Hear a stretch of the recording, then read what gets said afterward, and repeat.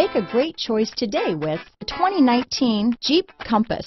The Jeep Compass has a solid, sophisticated 16-valve engine.